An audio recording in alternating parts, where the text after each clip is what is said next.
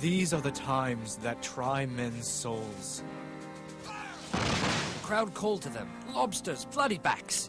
We're not afraid of you. I turned to look towards the officer, and I heard the word fire. We hold these truths to be self-evident, that all men are created equal. We are a race of beings who have long labored under the abuse of the world. Revolution is a frightening word. It brings up bloody images of power taken by force, of a world turned upside down. What would bring people to the point of risking everything to try something new? In 1760, the colonists celebrated the arrival of King George III to the throne of England. Like all loyal British subjects, they believed that they lived under the fairest and most balanced system of government ever made by man. Only 16 years later, these same colonists were locked in a deadly struggle with the most powerful military force in the world. What happened in those 16 years? What drove the colonists to the point of revolution?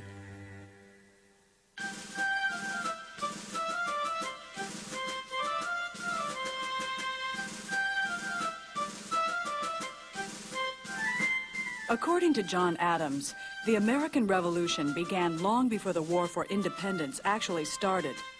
The real American Revolution was in the minds of the people and occurred before a drop of blood was shed. So when did it begin?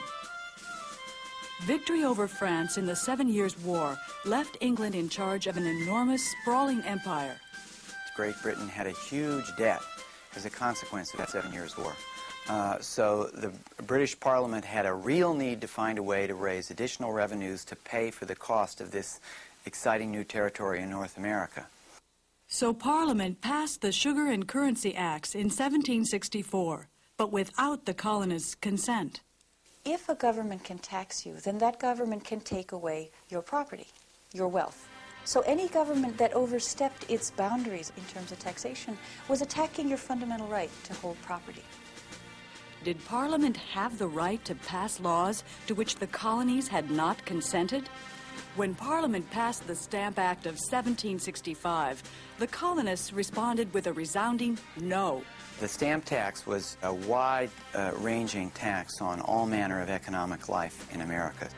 No taxation without representation blared newspapers up and down the colonies.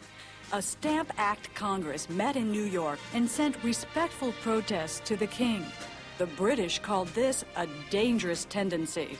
But an even more dangerous tendency was stirring up in Boston. On the night of August 14th, a furious mob tore through the house of Stamp Master Andrew Oliver. During the next 12 days, Stamp Act riots took over Boston.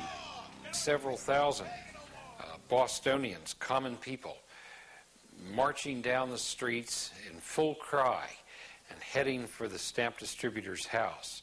And you would have seen that house come flying apart brick by brick, timber by timber. The pictures would have been torn off the wall, feather pillows would have been ripped open, and of course, the lieutenant governor and the stamp distributor were fleeing for their lives with their family in their nightshirts. Resistance to the Stamp Act spread throughout the colonies as newspapers told the stories of ordinary people standing up for their rights. Led by groups called the Sons of Liberty, protesters terrified British officials into resigning their jobs.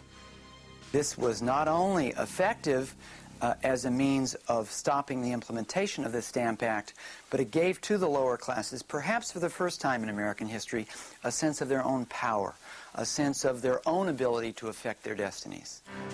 Attacking wealthy officials was not only a way of fighting British rule, but also allowed the poor to express their resentment of the wealthy men of the colonies. Since the poor had no voice in any government, what did it matter to them if England or Massachusetts took their money? They demanded that their interests be heard. Parliament hadn't expected such angry resistance. In March of 1766, it repealed the Stamp Act. All over America, colonists went wild with joy, clanging bells and lighting bonfires. Colonial mob activities like the Stamp Act riots taught people who had never been involved in politics the power of group action in resisting authority.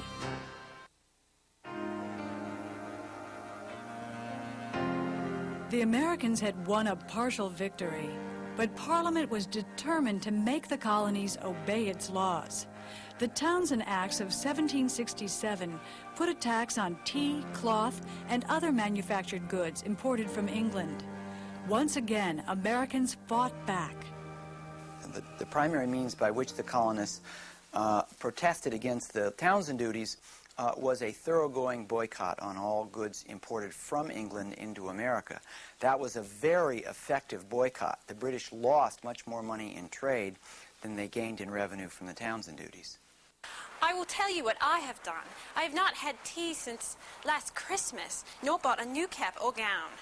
All my sister Americans are as with one heart determined to be free. What we fight for is this plain truth, that no man has a right to take our money without our consent.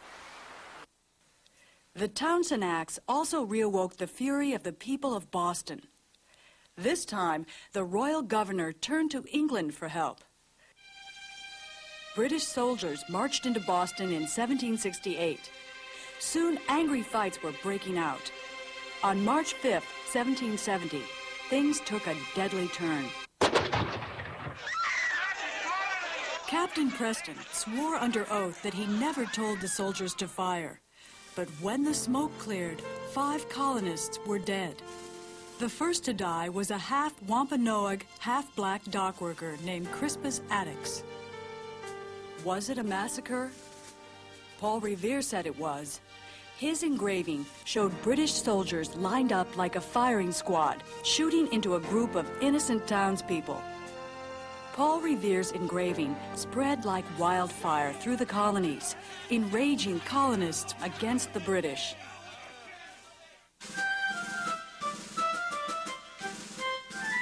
It was easier to build rebellion among the artisans and shopkeepers of Boston than among the wealthy. Not all of the members of the upper classes were completely comfortable with the opposition to Br British policy. For example, uh, in the aftermath of the Boston Massacre, a good many of the wealthy citizens of New York and Philadelphia thought that the lower class mobs in Boston had it coming to them. But Parliament wasn't pleasing Virginia planters like George Washington and Thomas Jefferson any more than Boston's artisans. Colonial America's political leaders were deeply influenced by a group of English politicians known as the Whigs, who believed that when too much power was given to one person or group, then power became corrupt. When Parliament started writing laws for the colonies, many colonists began to believe that a power-hungry conspiracy was trying to take away their rights as Englishmen. If this was true, then the colonists must resist corruption for the sake of liberty everywhere. Parliament repealed most of the Townshend duties in 1770, but three years later it passed a Tea Act. The Tea Act of 1773 would have saved the colonists money, but the issue now was who would rule in colonial America. Rally, Mohawks! Bring your axes and tell King George we'll pay no taxes on his foreign tea. Disguised as Native Americans, the Sons of Liberty boarded three British ships and dumped their tea into the Boston harbor. This was not the work of an angry mob, but a carefully planned rebellion against British authority. Furious at this show of vandalism, Parliament passed the Coercive Acts. When the British tried to punish the port of Boston in 1774 by the passage of the Coercive Acts, acts which closed the port of Boston, among other things. They hoped that other colonies would actually desert Boston and run to pick up the trade that Boston would lose uh, by the passage of that act. Uh, the British proved to be wrong. As much as the American colonies may have been uneasy about the radicalism of Boston, they saw that a threat to Boston's liberty was also a threat to their own. The cause of Boston is the cause of America, wrote George Washington. In September 1774, leading political figures from the different colonies met in Philadelphia for a first Continental Congress.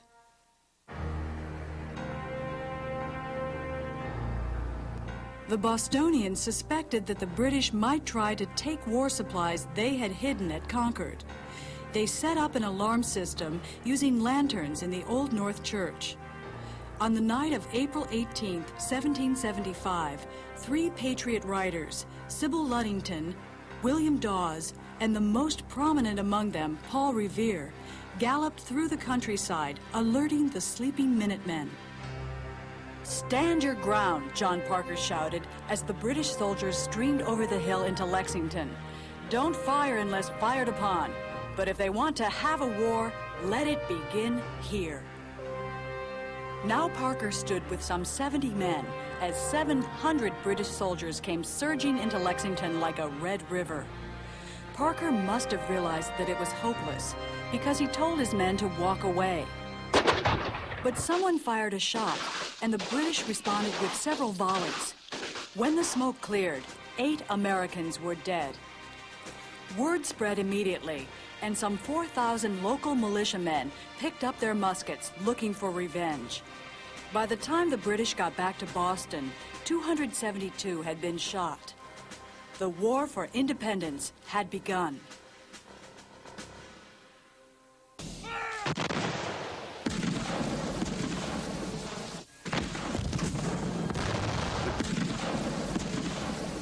Even after military conflict broke out, even after the battles of Lexington and Concord, most of America's leaders hoped that they could achieve some sort of reconciliation with Great Britain. Believing that the conspiracy to control America was based in Parliament, the Second Continental Congress sent a petition to King George, humbly begging him to address their wrongs. George III's response was emphatic and hostile. Uh, he declared the colonies in a state of rebellion. He sent several thousand troops to America to put down the rebellion. We have it in our power to begin the world over again. A situation like the present has not happened since the days of Noah and the Ark. The birthday of a new world is at hand. Thomas Paine, a former staymaker and minor English customs official, had been in the colonies for just over a year when in January of 1776 he published a small pamphlet calling for independence called Common Sense. Common Sense is a brilliant piece of political writing when he really argues that these are momentous things we're trying to do. We're standing up for liberty, we're standing up for a new way of being human on the planet um, that hasn't been tried before. It was a firecracker. It was unlike anything the colonists had read. It was written for the man in the streets, the man um, on the docks, the farmer in his field. Plain, down to earth language. And he made the American cause sound like common sense. With Americans clamoring for independence and the King of England insistent on submission and obedience, Congress acted. On July 4, 1776, the delegates formally approved independence, more than a year after the war had begun.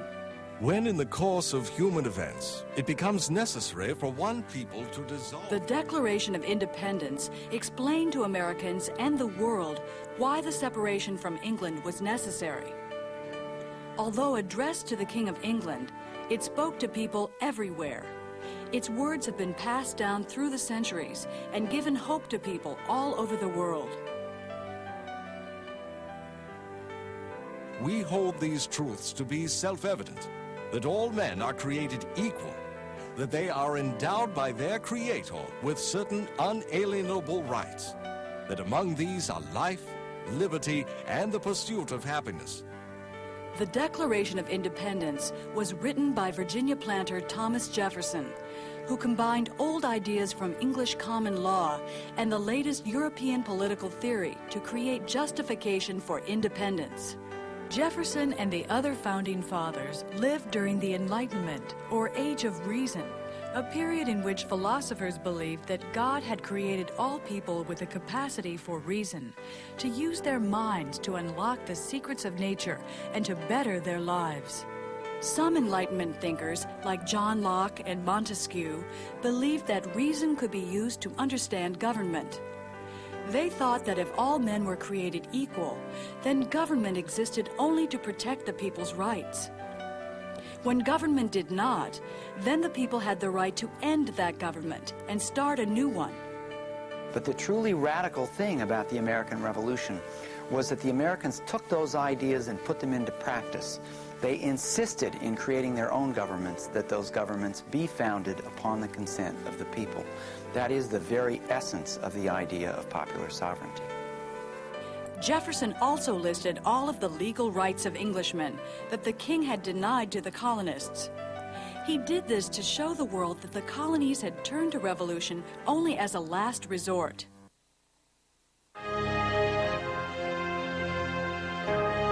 The Declaration of Independence asserted that all men are created equal. That made men like patriot John Dickinson shiver. Shall we renounce the liberties we have to go and seek it in I know not what form of republic? Had resistance to British authority gone too far? Many of the wealthy and powerful in America only wanted to preserve what they already had. But now people were talking democracy. Democracy was a dirty word to the upper ranks of society. The Stamp Act riots in Boston had shown wealthy Americans what the lawless mob could do. Many colonists, known as loyalists, stayed true to the crown. They were disturbed by radical new ideas about equality and human rights that threatened to disrupt their world. Among the radical new notions unleashed by the American Revolution was the idea that women and enslaved Africans were also entitled to political rights. In the new code of law, I desire that you would remember the ladies. Do not put such unlimited power into the hands of husbands. If particular care and attention is not paid to the ladies, we are determined to have a rebellion of our own. Abigail Adams, 1776. Women's roles in the revolution were, were many. Some were nurses, um, some were sewing uniforms, others were raising money, but even a larger number were just taking care of business at home because when the man was away fighting in the war, someone had to keep the farm going. The most famous words in the Declaration of Independence, perhaps the most famous words ever written, are those words, uh, we hold these truths to be self-evident that all men are created equal. Yet how could the Americans who believed those words at the same time hold slaves? Many Americans began slowly following independence to see uh, the contradiction between a belief in equality on the one hand and the practice of slavery on the other. The petition of a great number of blacks of this province who by divine permission are held in a state of slavery within the bowels of a free and Christian country, humbly showing that your petitioners apprehend we have in common with all other men a natural right to our freedoms, without being deprived of them by our fellow men, as we are a free-born people and have never forfeited this blessing by any compact or agreement whatever. The American Revolution also raised questions about the rights of African Americans. If all men are created equal, then why did one-fifth of the American population live in slavery? The British were quick to take advantage of this inconsistency between American ideals and practice. The British invited African American slaves who enlisted in the British Army to do so in exchange for freedom. Um, in particular, Lord Dunmore, who was governor of Virginia, invited the slaves and provoked mass outrage among slaveholders. Um, but got himself a number of, of African American soldiers. Black Americans fought on the Patriot side, sometimes substituting for their master in the militia, but a much larger number fought with the British because it was the British, not the Americans, who largely were offering freedom.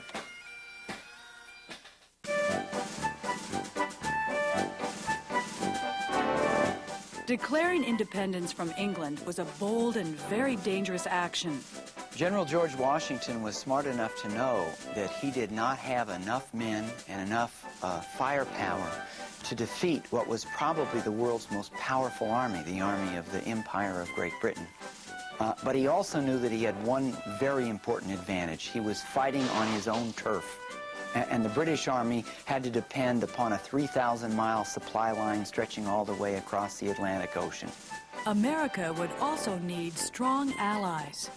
On the day the Declaration of Independence was signed, Benjamin Franklin, perhaps the most world-renowned of all Americans, set sail for France. France had been an enemy of Great Britain's for many centuries. But in fact, France was looking out after itself. It was only be willing to, to fight on the side of the Americans if they could be convinced that the Americans could win the war. The fate of America rested with George Washington and his makeshift Continental Army. Having faced stiff military and popular resistance in New England, the British commander Sir William Howe decided to send his troops to New York City and cut New England off from the other rebels. Washington was determined to keep the British out of New York. Howe's army of British regulars and German mercenaries called Hessians soundly defeated the small, untrained Continental Army, first at Brooklyn Heights on Long Island, and then in Manhattan itself.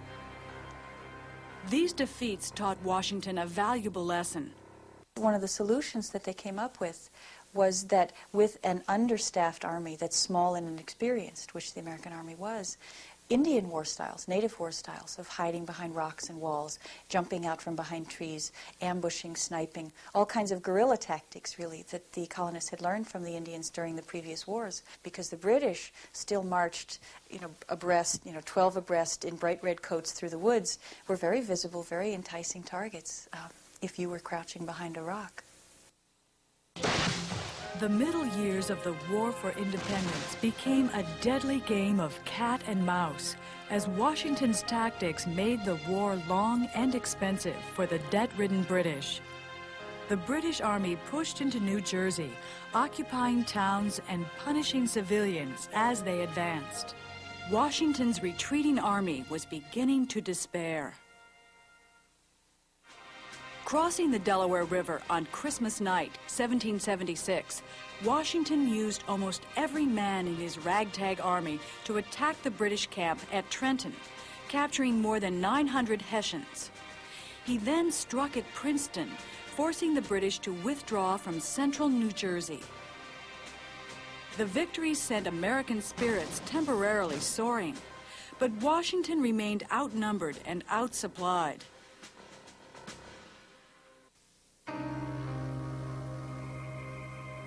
The cold winter of 1777 at Valley Forge was the Army's lowest point. The war was at a standstill, and the troops were miserable. I am sick and out of humor. Poor food, hard lodging, cold weather, fatigue, nasty clothes, vomit half my time, smoked out of my senses. The devil's in it. I can't endure it. Why are we sent here to starve and freeze? While the British enjoyed themselves in Philadelphia, Washington's troops huddled in crude log huts. They had little food or clothing. Some went barefoot. By spring, more than 3,000 men died of starvation or disease. So who were the men who fought for independence? In the beginning of the war, men from all walks of life volunteered to fight for America's independence. Close to half of them were teenagers. But as the war dragged on, the better off began to hire the poor to fight the war. Some men used their slaves and indentured servants as substitutes, promising them their freedom if they managed to come out alive. Promises of bonus pay and land out west attracted many.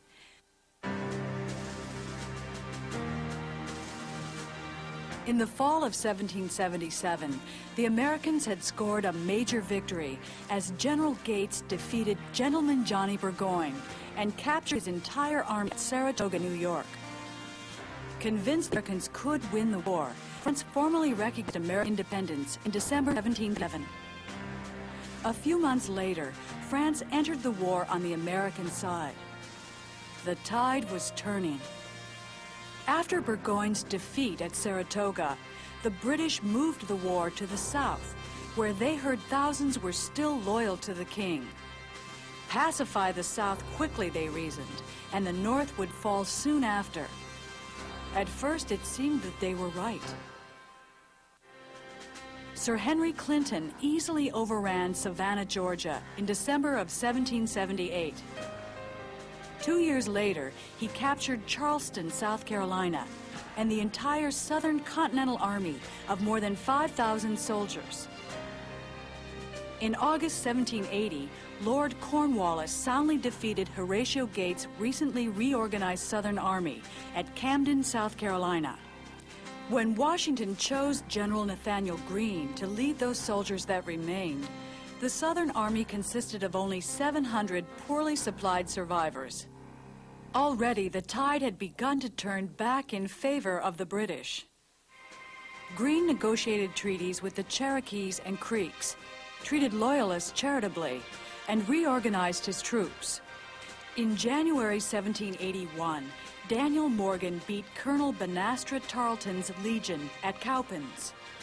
That March, Greene's army inflicted heavy damage on Cornwallis's troops at Guilford Courthouse and forced the British to withdraw to the coast. Deciding that he must first conquer Virginia in order to hold the South, Cornwallis moved his troops to Yorktown on a small peninsula between the James and York rivers. Washington quickly moved his troops south from New York. When a French fleet under the Comte de Grasse moved into the Chesapeake and turned back a British fleet sent to rescue Cornwallis, the British were cut off from the sea and trapped by 17,000 advancing American and French troops. On October 17, 1781, Cornwallis surrendered. When the British troops marched out to give up their weapons, their army band played a song called The World Turned Upside Down. Yankee Doodle had won his independence.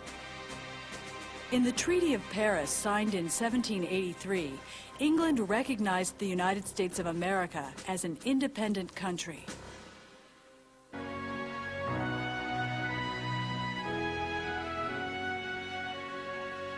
The War for Independence brought many changes to Americans. The nation had gained independence and undertaken an unprecedented experiment in democratic government. Tens of thousands of slaves and loyalists would leave America forever. The war also had a profound impact on Native Americans. When the war broke out, the eastern woodland Native American nations were tired of American aggression against their lands and were inclined to side with the British. To prevent this, the Americans in 1775 convinced the powerful Iroquois to remain neutral. But by the summer of 1777, American troops were raiding deep into Iroquois territory, and Native Americans could sit still no longer. Most of the Native American nations fought with the British because they saw the British as the protectors of their land and they saw the colonists as the encroachers on their land. So it made sense for the American Indians to think that they would be better off if the British won the war. Most of the Iroquois decided to fight for the British, but the Oneida and the Tuscarora chose to join the Americans. The split ended an alliance that had lasted 300 years and turned out to be disastrous for the once powerful Six Nations. Iroquois warriors fought with the British in brutal raids into central New York and Pennsylvania. The Americans responded in kind, driving the Iroquois from their ancestral lands. When the war was over, the British totally ignored Native American land claims. In the Treaty of Paris, they gave all the land east of the Mississippi to the Americans. Joseph Brant was left trying to find a place for the Mohawks to live in Canada. The great Iroquois Confederation was gone forever. For African Americans, the American Revolution did not bring as much freedom as it had promised on either side. Thousands of slaves who escaped to the British did win their freedom. Hundreds were returned to their masters or sold to the West Indies. But far more sought a life in Nova Scotia and Florida, and many of these returned to Africa in the 1790s to found a new nation, Sierra Leone. But the ideas unleashed during the American Revolution did change how Americans thought about slavery. But it was an increasingly a discomfort for people that the economy was connected to human suffering in this way. Um, and when they looked at their own desire for freedom, many people began to envision um, freedom for other people as well. The way that transition came about was through the actions of African Americans themselves, who raised the issue openly and publicly, both in print and verbally, about what is this business of all men being created equal? What about us? Where are we included? And we expect, they said, we expect freedom. In 1783, the Massachusetts Superior Court found that the state's constitution did not give sanction to slavery. Over the next 20 years, the other northern states also abolished slavery or passed laws that would set slaves free over time. Only in the Deep South, where slavery remained economically essential, did slave laws become tougher than ever. The war also ended the overseas slave trade. Only South Carolina and Georgia would ever start it again. For many women, the war for independence brought a new sense of self. Applying ideas about human rights to themselves, they began their own long struggle for political rights, educational opportunities, legal rights, and more. The artisans and the farmers, shopkeepers and laborers who fought for independence believed passionately in the ideas of Republican government. They had high hopes of participating in the new nation's political future. But politics often makes strange friendships, and so it was with independence. The poor and powerless had fought for more equality and a chance to participate in a new kind of government. The wealthy had declared independence from England to keep the power and freedom they already enjoyed in America. Now that these two groups had won their independence, what kind of government would they create? Would it be a Republican government controlled by the people? Or would it keep political power in the hands of the wealthy few? How much power should be in the hands of the states? How much would be entrusted to the new central government? What would be the rights of people living in the new territories? All this and more must be decided as a new form of government is hammered out, based not on the divine right of kings, but on historical experience and on reason. Now that the war was over, it was time to build a nation. A way to raise additional revenues to pay for the cost of this exciting new territory in North America. So Parliament passed the Sugar and Currency Acts in 1764, but without the colonists' consent. If a government can tax you, then that government can take away your property, your wealth. So any government that overstepped its boundaries in terms of taxation was attacking your fundamental right to hold property. Did Parliament have the right to pass laws to which the colonies had not consented? When Parliament passed the Stamp Act of 1765, the colonists responded with a resounding no. The stamp. What would bring people to the point of risking everything to try something new? In 1760, the colonists celebrated the arrival of King George III to the throne of England. Like all loyal British subjects, they believed that they lived under the fairest and most balanced system of government ever made by man. Only 16 years later, these same colonists were locked in a deadly struggle with the most powerful military force in the world. What happened in those 16 years? What drove the colonists to the point of revolution?